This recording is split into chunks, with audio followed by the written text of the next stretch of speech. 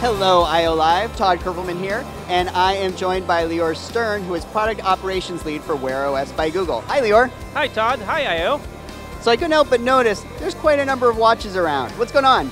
Yeah, there are quite a few. In fact, there are 29 watches here, which represent uh, a broad spectrum of the watches available today running uh, Wear OS. Uh, you can see some of the kind of uh, high-end, luxury-oriented watches that we have here, like the uh, Hublot, which is a limited edition watch.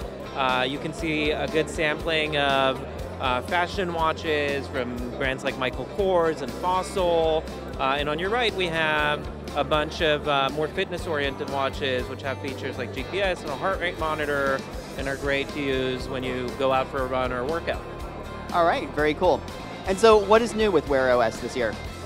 So, uh, what we're looking at here behind us are uh, these four displays, which represent uh, the four product pillars of Wear OS.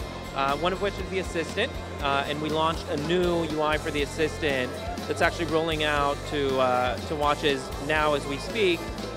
and then next to that is the productivity pillar, which is focused on things like uh, being able to see when your next appointment is at, as a glance, or uh, a bunch of new features for Google Keep on Wear. Next to that, we have the uh, connectivity and communication kind of pillar. Uh, we're doing a lot of work on uh, notifications, on making the watch a great way for you to be in touch with the people and things that matter to you.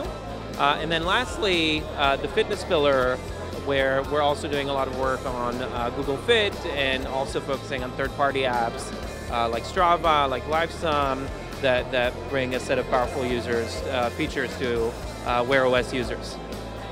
Excellent. Getting fit is always is always good. So I know you had mentioned that um, we have some neat new features that take advantage of the assistant. Can we see a demo of that? Yeah, absolutely. So we've got a couple things at I/O this year that are in developer preview. We're previewing a new uh, a power saver mode for the watch, where once you dip below a certain battery threshold, we'll actually disable uh, a bunch of the radios and, and different features to extend the battery life of the watch and make it easy for users to get back to uh, turning everything on with a long press. Uh, the other preview that we have is Kotlin support for, for Wear OS. Uh, and the, the big feature that we're demoing here in the booth is the new Assistant UI for Wear, uh, for which we can uh, segue to my colleague Kangwan for a demo. All right, let's go take a look right now. Hey Kangwan, I hear there's a new assistant on Wear OS. Can you show me what it does? Of course. Now it has all the actions available on the watch. So let's see it.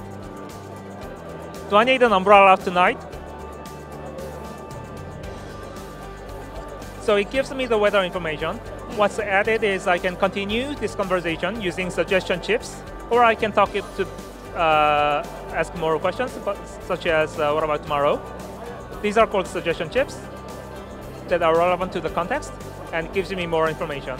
Uh, these are first-party actions, and I'm going to show you other third-party actions because Google knows about the weather, but not everything. Google cannot turn on the light on this one because this is not Google product. Uh, would you tell it to let there be light? Say. All right, I'll do that. Let there be light. There you go. Whoa, that's amazing. Is and any pretty other cool. yeah any other third-party devices it can talk to? We actually have a robot vacuum uh, right behind me, so let me try to uh, start cleaning floor. Start cleaning. Whoa, look at it go! Go, little robot vacuum, go! Conveniently, somebody has gone. Get those chips! Get them, get them, get them! That is awesome. And is there an action that will make my kids put their dishes away after dinner? You can build your own. That's the whole point. All right. You can have your own actions. All right, that'll be available next year. Wow, that was fun. All right, so I have one last question for you. Um, what time is it? No, I'm just kidding. Uh, my last question is, if I'm a developer and I want to find out more about uh, building something cool on Wear OS, where would I go? Uh, so now developers can build actions on Google for the assistant and just keep the watch in mind and make sure you test on watches. And of course, everyone should come check us out at wearos.google.com to learn about the platform and everything it has to offer. All right, so there you go. Actions on Google and wearos.google.com. And hey, did you like this video? Want to see something just like it or kind of close to it? head on over to g.co slash io slash guide for more videos like this. Thanks, everybody. We'll see you soon.